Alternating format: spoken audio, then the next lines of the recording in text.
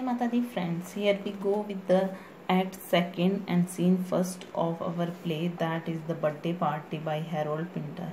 Okay, this is the playwright of this play, the birthday party, and we are going to discuss with the act second and scene first. It is evening means जैसा कि मैंने बताया था first act है वो morning का है और जो सेकंड एक्ट है वो उसी मॉर्न उसी डे की इवनिंग का है और द थर्ड एक्ट है वो नेक्स्ट मॉर्निंग का है ओके सो so, ये जो सेकेंड एक्ट है वो इवनिंग का है McCann tearing up a sheet of paper into five equal strip so ये मैकेन ये हरकत करता रहता है जब भी वो टेबल पे बैठता है तो वो न्यूज़पेपर के मतलब फाइव इक्वल स्ट्रिप्स में वो न्यूज़पेपर को फाड़ रहा है।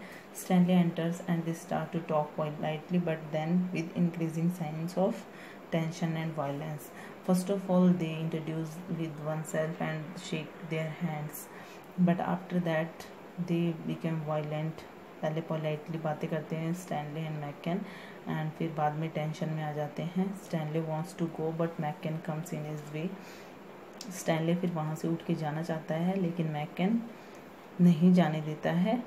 He stand up in his way McCann asked Stanley if they have ever met before. He denies.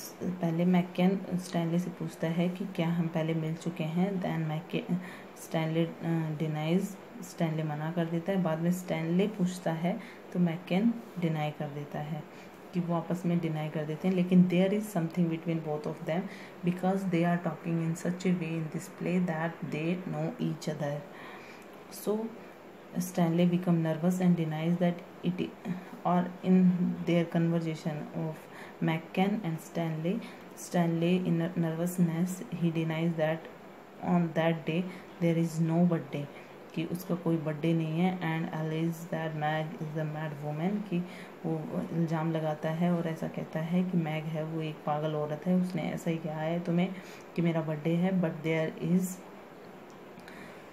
there is not his birthday He lightly catches hold of McCann's arm. He knocks it away savagely, and he also prays Ireland. So uh, then he means यहाँ पे Stanley है. Stanley catches uh, uh, catches और you can say hold the arm of McCann और McCann फिर उसको छुड़ा लेता है उस अपने आम को। And then they both then Stanley talk about the island कि आइलैंड कितना अच्छा है। वहाँ पे कितने अच्छे हैं। अबाउट द ट्रुथ जो वहाँ के पर्सन है, वो कितने सच्चे हैं। उनके बारे में भी काफ़ी कहता है। वो इन सबसे मतलब बाहर निकलना चाहता है स्टैनले इस टॉपिक को रोकना चाहता है। आपस में जो वायलेंस हो रखी है टेंशन है, उसको कम करना चाहता है। इसलिए वो आयरलैंड की बातें करता है, क्योंकि वो आयरिश है। मैकैन है वो, लेकिन इन सबसे पीछा नहीं छूटता है और उन दोनों में काफ़ी बहस हो जाती है। Towards the end of the scene towards the end of the scene, goldberg and Petey enter so after, they are fighting stanley and mccann and on the same time goldberg and patty came and goldberg start describing golden days or dreamy days of reminiscence of his childhood days जैसा कि मैंने बताया था when goldberg have some people or he have any time then he always talk about his golden days of childhood so here also कि वहाँ पे जब वापस आते हैं, क्योंकि जो पैटे और गोल्डबर्ग जो बाहर होते हैं गार्डन में, तभी भी ये यही डिस्कस कर रहे होते हैं चाइल्डहुड के बारे में। गोल्डबर्ग उसको चाइल्डहुड के बारे में बता रहा था और सेम वो डिस्क्राइब, डिस्कस करते हुए अंदर आ जाते हैं। And they are in the guest house McCann and Stanley were there. Petey goes off to play chess and McCann accompanies him to buy drinks for the oncoming party तो अभी क्या होता है कि पैटे जो है Petey is also invited to the birthday party but Petey told them we don't know it earlier कि तुम कोई पार्टी देना चाहते हो हो, ये मैं पहले नहीं जानता था so I have plan a game of chess to someone कि मैंने किसी के साथ में चेस के गेम के लिए कह दिया है so I am going there so hope I am going to join you later कि मैं थोड़ा सा लेट आ जाऊँगा घर पे और मैं तुम्हारी पार्टी ज्वाइन कर लूँगा। वो ऐसा कह के चला जाता है। And then Goldberg told Goldberg भी कहता है कि ऐसा ही हो कि तुम्हारा जो जो चेस का गेम है, वो थोड़ा कम चले और तुम टाइम से ही पार्टी में आ जाओ। और मैकैन जो है, वो वहाँ से चला जाता है ड्रिंक्स लेने के लिए, जो पार्टी होने वाली है उसके लिए। So here here scene first is and and chain second is started here. Left alone with goldberg stanley suddenly becomes foiled and tell him that as manager of the boarding house he knows that all the rooms have been booked. So here after leaving pate and mccann here only at the guest house there is only two person there is Goldberg and Stanley and Stanley violent हो जाता है एकदम से and uh, told him as the manager of the boarding house and told Goldberg that you leave with your friend because all the rooms in the guest house are already booked कि Stanley उसको कहता है कि तुम अपने friend मैकेन के साथ यहाँ से चले जाओ यहाँ पे कोई रहने की जगह नहीं है मैकैन रिटर्न विद बॉटल्स जैसा कि वो पार्टी के लिए बॉटल्स लेने के लिए गया था ड्रिंक की तो both of them compel Stanley with great difficulty to sit down in his chair and here Goldberg and McCann compel Stanley very much and Stanley जो स्टैनले है, वो बहुत टेंशन में आ जाता है और वो स्टैनले को काफ़ी फोर्स करते हैं दोनों कि तुम बैठ जाओ। और एट लास्ट स्टैनले जो है, वो रेडी हो जाता है बैठने के लिए ready to sit down only when McCann himself sit down first कि पहले मैकन बैठेगा तो मैं बैठ जाऊँगा चेयर पे। तो ऐसा उनमें फाइटिंग होती है, काफ़ी वायलेंट हो जाती है मतलब वर्बल फाइट होती है। तो वर्बली वो एक दूसरे को काफ़ी कुछ कहते हैं और at last Stanley becomes ready to sit down only when when McCann himself sit down first then Goldberg and McCann start a hectic brain washing interrogation of wide variety of as nulls of allegation zigzagations and shocking insult are heaped on him so rapidly that he is not allowed to answer तो उसके बाद में क्या होता है कि जैसे ही वो स्टैनली बैठता है, वैसे ही गोल्डबर्ग और मैकेन उसके ऊपर इतना hectic brain washing interrogation step interrogation start कर देते हैं। उससे उससे बहुत वैरायटी के क्वेश्चन पूछे जाते हैं, बहुत एलिगेशंस लगाए जाते हैं, ऐसे क्वेश्चंस क्वेश्चन पूछे जाते हैं, काफ़ी टेढ़े मेढ़े क्वेश्चन पूछे जाते हैं शॉकिंग काफ़ी इंसल्टिंग क्वेश्चन पूछे जाते हैं why he kill his wife और उसकी मदर कहाँ है? क्या सच में वो कोई वृद्धाश्रम में है?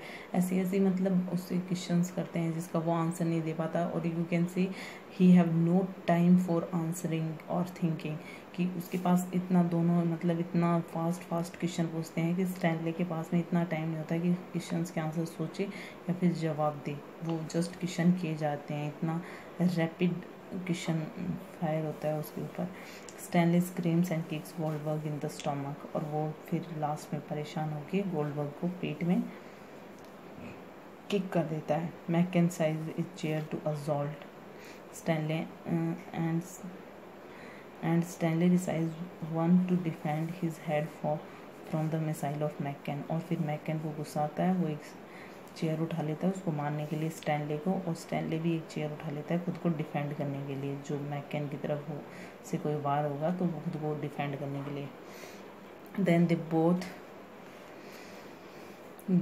go round and round कि एक दूसरे के साथ में चेयर लेके और गोल गोल घूमते हैं स्टेज के ऊपर और दे आर साउंडिंग लाइक मतलब they are just Stanley can only speak grunting sound okay. He he is in very tension और वो खुद को मैकन से बचाने की कोशिश कर रहा है और वो थोड़े से राउंड एंड राउंड घूमते हैं एक दूसरे की तरफ़ वार करने की कोशिश में। Then here we are going to see scene third that is as soon as Meg enters the room dressed for the party with gift a drum the party start और थर्ड सीन में क्या होता है, जैसे ही Meg party की dress में enter होती है वैसे ही पार्टी स्टार्ट हो जाती है। उसके पास में टॉय ड्रम भी है, जो एज गिफ्ट है स्टैनले के लिए। स्टैनले सिर्फ़ अपनी ग्लासेस के लिए पूछ रहा है, क्योंकि उसकी जो स्पेक्टिकल्स हैं वो गिर गई हैं। The lights are switched out lights भी स्विच ऑफ़ कर दी गई हैं। It also is shone on the Stanley Meg makes a motherly speech on his honour so so, यहाँ पे लाइट्स इसलिए बंद की गई थी क्योंकि ऐसे कहा कि मतलब जो लाइट है वो डिस्टर्ब कर रही है क्योंकि वो कहते हैं मैग को कि स्टैनले के लिए कुछ शब्द कहे हैं।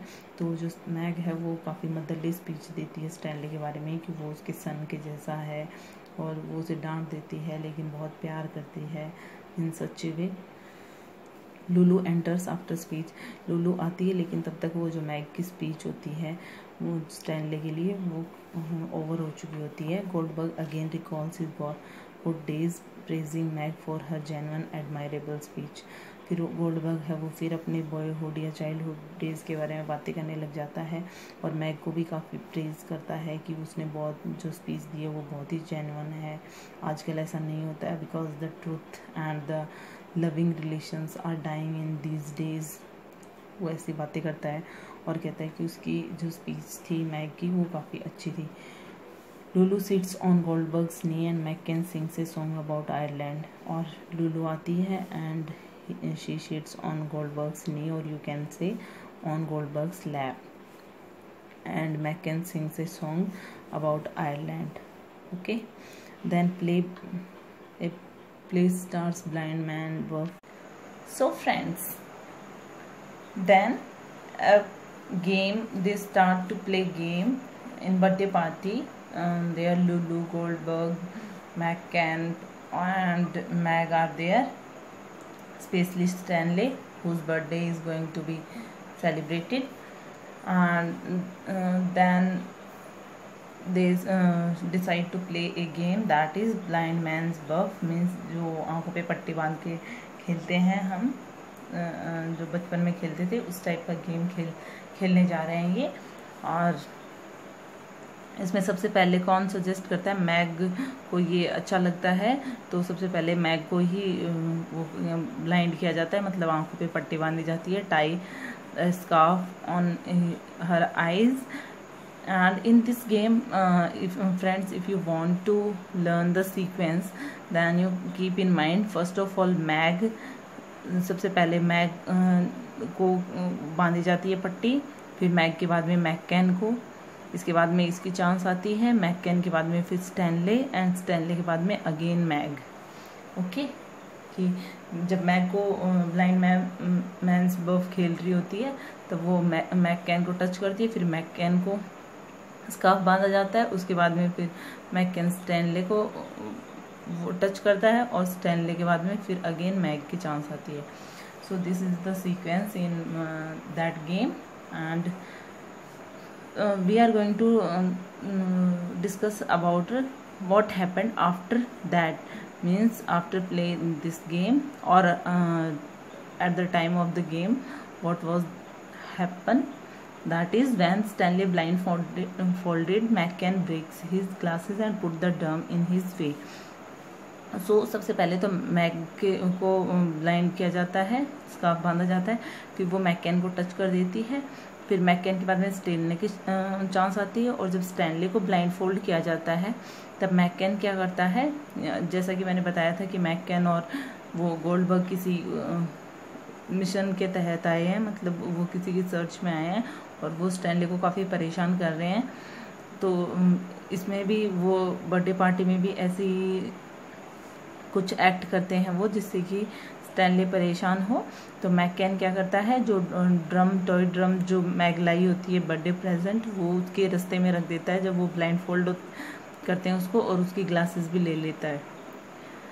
Stanley run in to the drum and tries to strangle Meg dragging the drum on he force till the lights go out confusion in darkness and when torch found out it reveal Stanley bent on spreadeagled Lulu lying on the table तो जब Stanley को blindfold किया जाता है तो वो क्या करता है, जब ड्रम बीच में रख दिया जाता है तो ड्रम के ऊपर पैर रख देता है और पैर में वो फंस जाता है, जो टॉय होता है वो।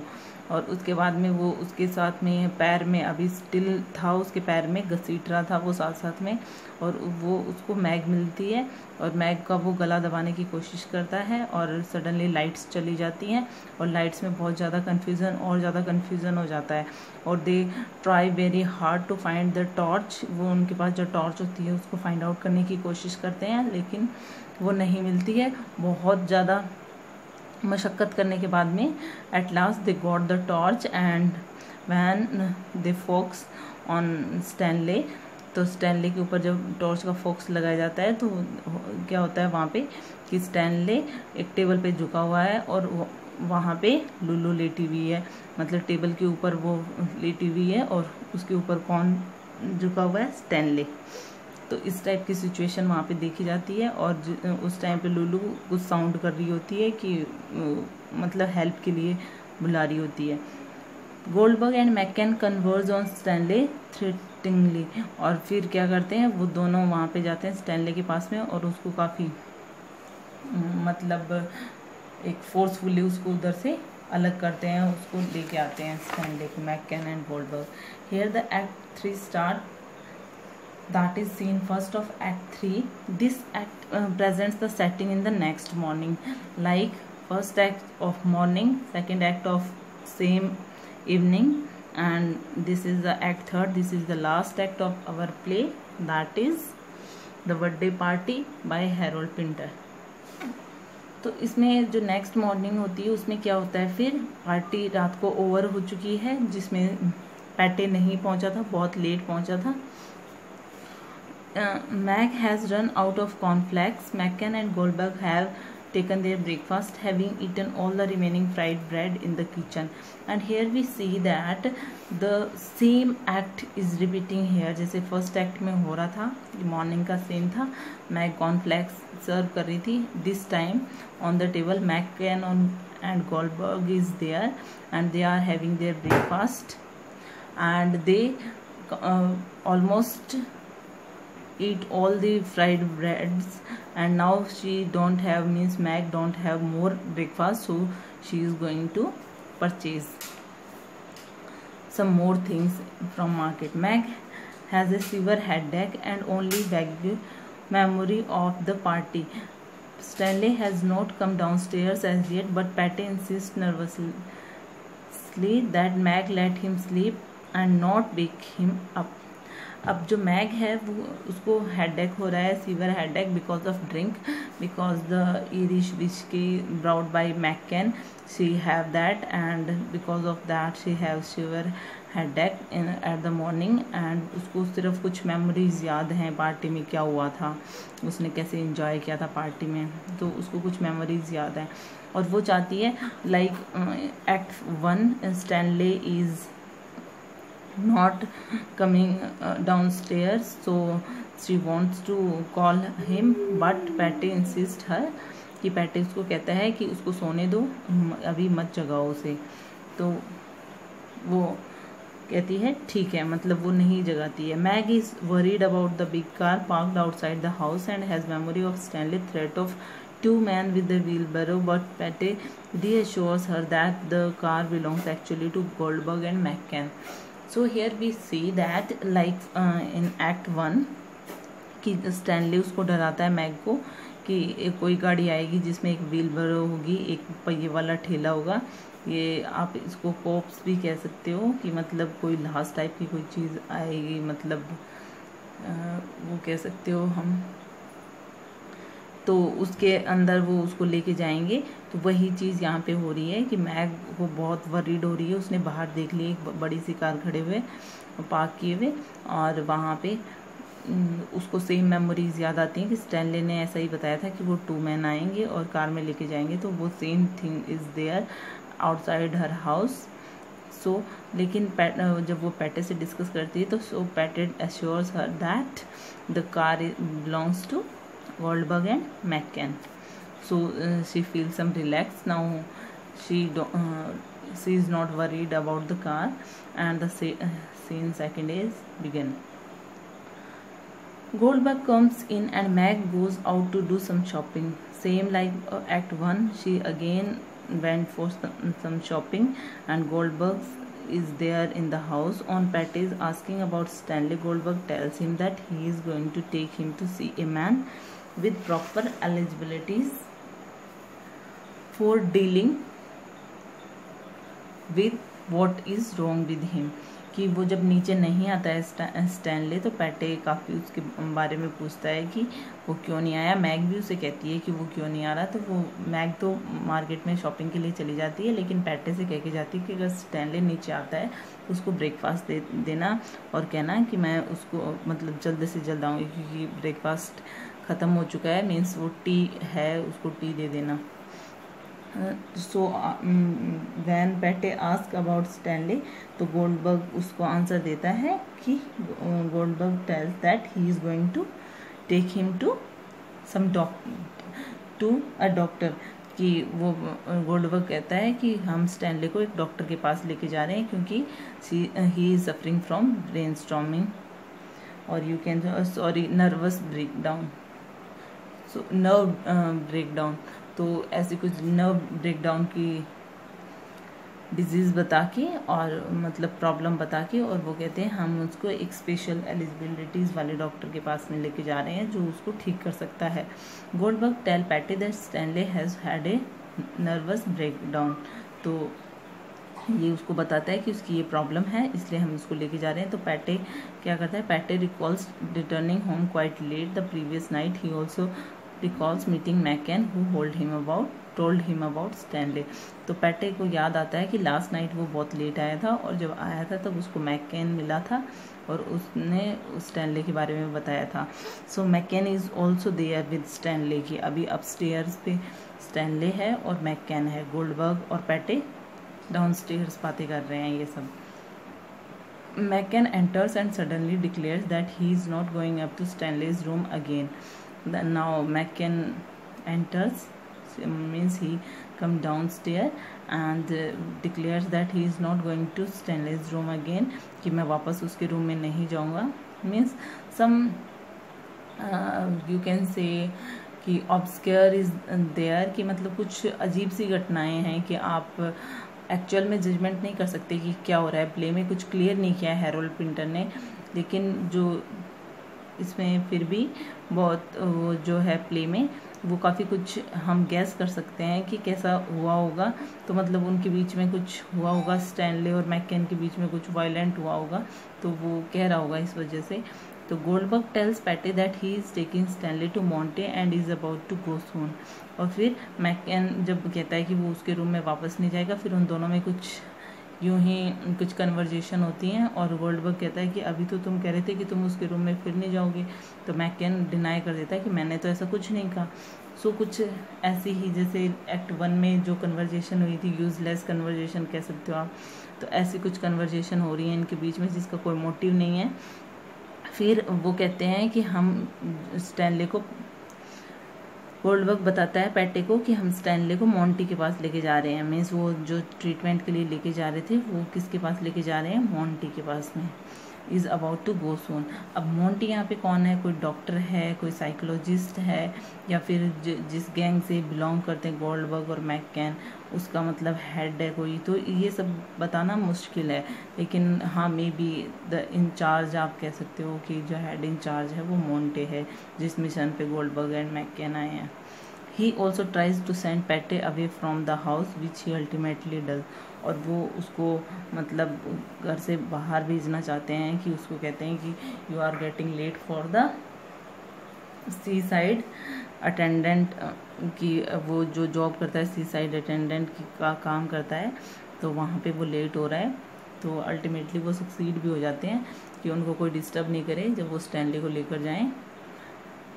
Goldberg now scene third started Goldberg rebukes McCann for tearing up the paper and admits that he feels knocked out. He catches hold of McCann's throat for calling him Sime and a name Goldberg has said his wife and family used for him. अब क्या होता है Goldberg rebuke McCann की एक तो इसलिए करता है रिब्यूक करता है उसको क्योंकि वो जब भी मैंने बताया था मैकैन पहले भी एक्ट वन में भी जब वो बैठा होता है टेबल पे डाइनिंग टेबल पे तो वो फाइव इक्वल पीसेस में पेपर को कट कर रहा होता है और again he is doing the same work that is he is tearing up the paper so Goldberg rebuke him and then he admits that he feels knocked out कि उसको problem है, उसको कुछ अजीब सी फीलिंग हो रही है।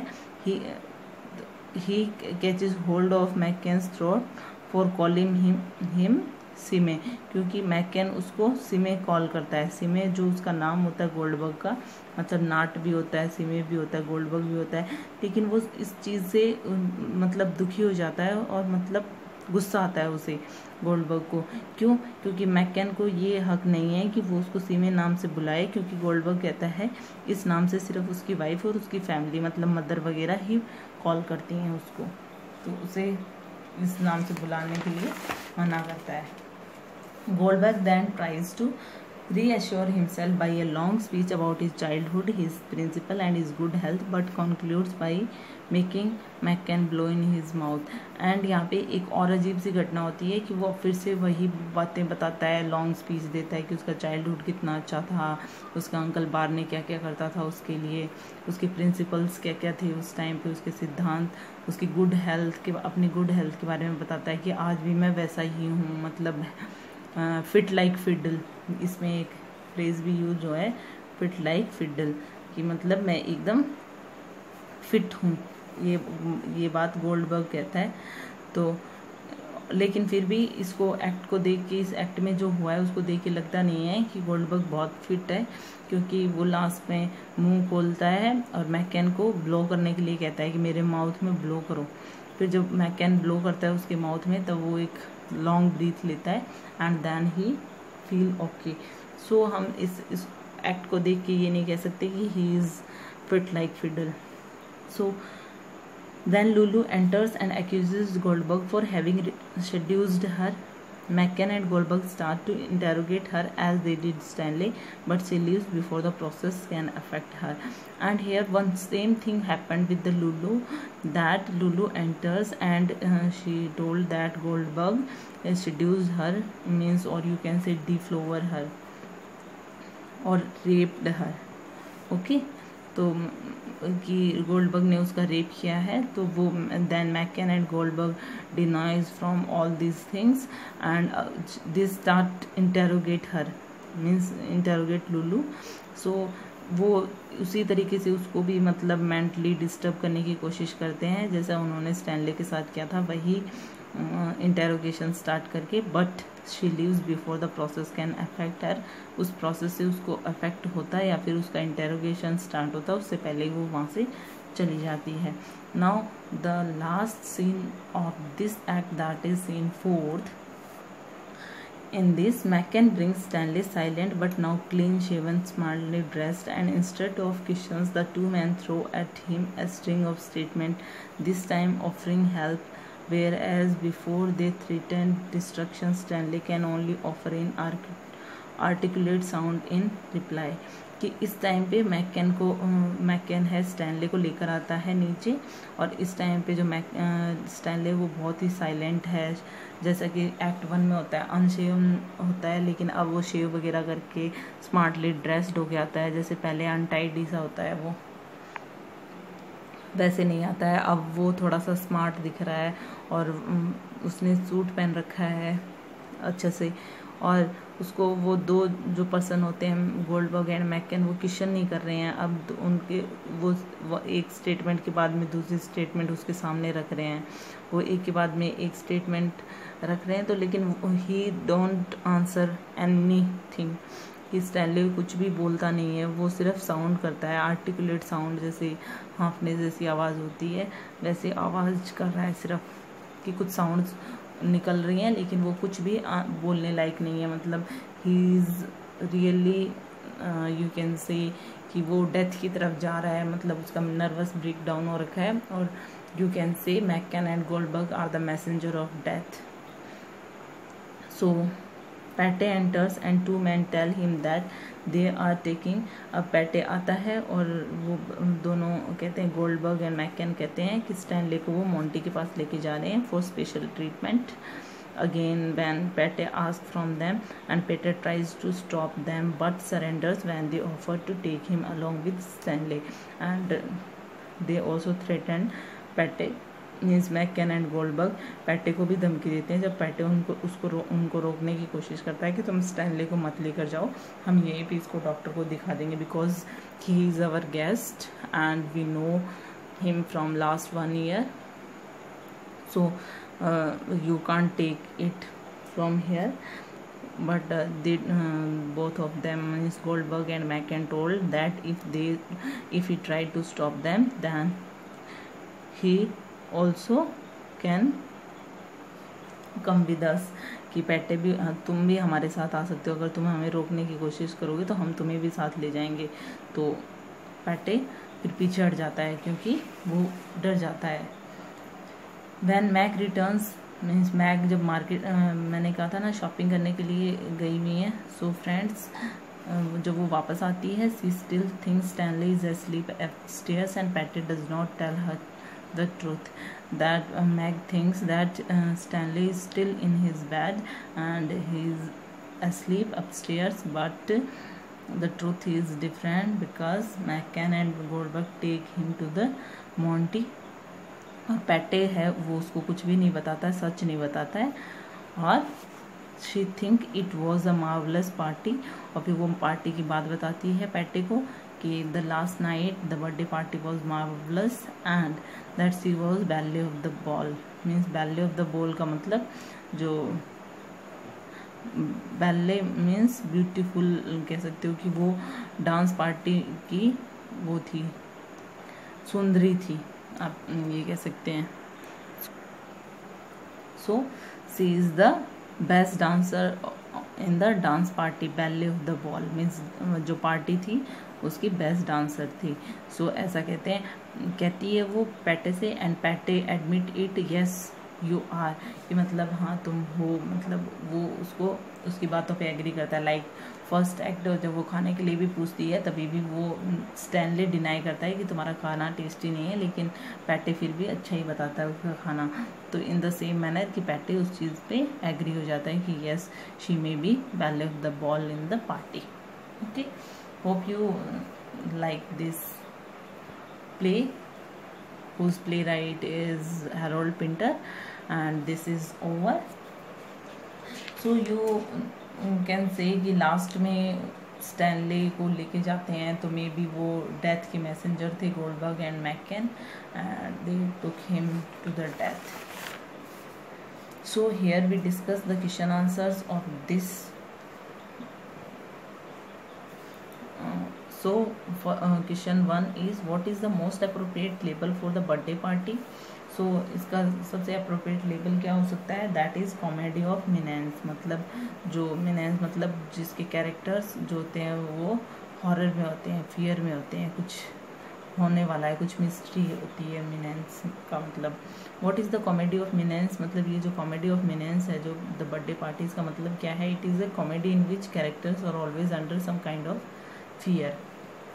Like uh, in the birthday party we discuss that every person there is a lot of mystery in the play and also every character is in fear what is the theme of the novel? It reflects the plight of the artist. It deals with the theme of the artist vis-a-vis social environment in which he lives.